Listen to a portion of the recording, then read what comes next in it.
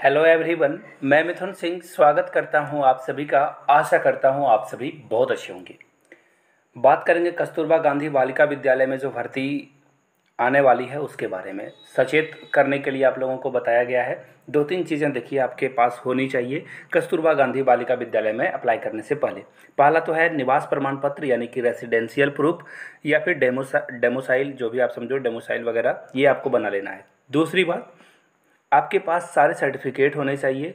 तीसरा, आपके पास character certificate E W S जो भी आपके पास जाति वगैरह, ये ज़रूर होनी चाहिए। रिसेंट साइज़ का फोटोग्राफ आप जो है बीस तीस खिंचा कर रखना, काम में आएगा आपका ये। क्लिक करवा कर रखें, आप डेवलप भी करा लें। ये आप जब एक फॉर्म आएगा तो परेशान होने की ज़रूरत नहीं है। इन चीज़ों को पहले से करा कर रख लें।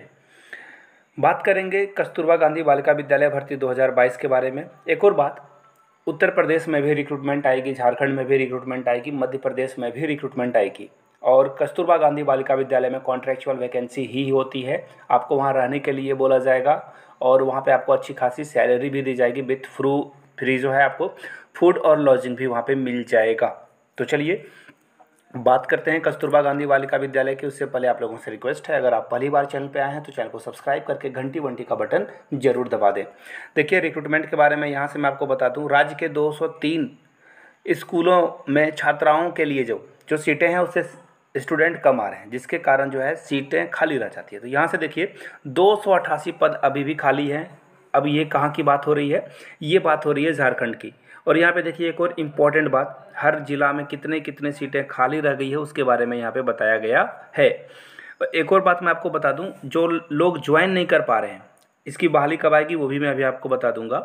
देखिए, कस्तूरबा बालिका विद्यालय में कम मानदेय, यानी कि पैसे कम मिलते हैं फिर भी ठीक ठाक है प्राइवेट स्कूल से तो अच्छा ही है। रहने, वहीं पे रहना है आपको और वहीं पे खाना है, इसके कारण जो है पद खाली रह जाते हैं।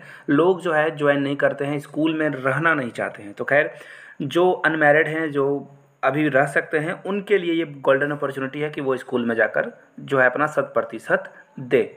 और इसके लिए जो वैकेंसी आने वाली है, यहाँ से देख लीजिए, पंद्रह अक्टूबर तक वैकेंसी आ जाएगी। पंद्रह अक्टूबर 2022 की बात हो रही है। तो कमर कस लीजिए, मैंने जो जो सर्टिफिकेट वगैरह बताया था, वो ज़रूर अपना तैयार करके रखें। ए है तो वो भी बना कर रखें।